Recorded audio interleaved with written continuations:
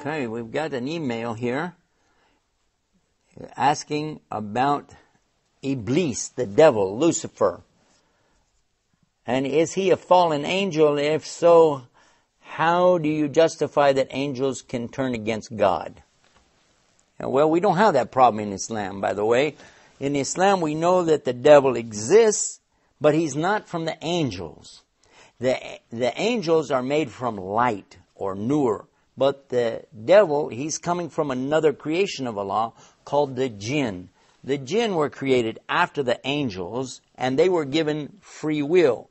Whereas angels have no free will. They always do only what Allah orders them to do.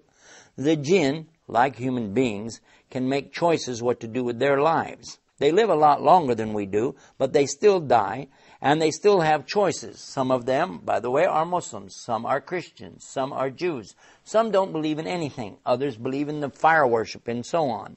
What we know from Islam is that the jinn are the ones who, before human beings, were allowed to make the choices of what they wanted to believe and what they wanted to do. And this is the case of Iblis or Lucifer. He was allowed to go all the way up with angels because he was worshiping Allah so much.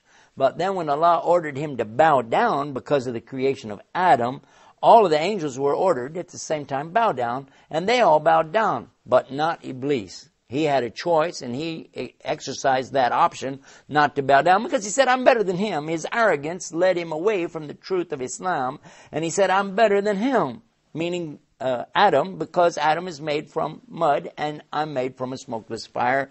And because of my substance, I must be better than him. Well, this kind of arrogance takes people out of Islam.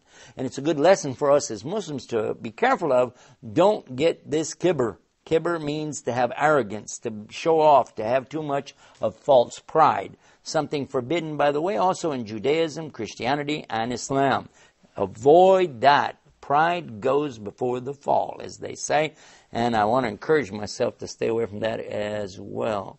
Now, uh, as far as more information about Iblis, you can get it on our website. And, uh, okay, we got another one. What is the history of the Bible and how can I get more information about the Bible? All right, both of these, you, uh, you can go to the same website to get more information. Yes, you can go, first of all, for the subject of the devil, the shaitan, visit our website called islamnewsroom.com and type in the keyword either Iblis or devil or shaitan. And then uh, for the other one about the Bible, you can go to our website called 911bible.com or another new site we have called bibleislam.com. And, oh, we ran out of time. That's the end of the mailbox for today. But until next time, peace. Assalamu alaikum warahmatullahi wabarakatuh.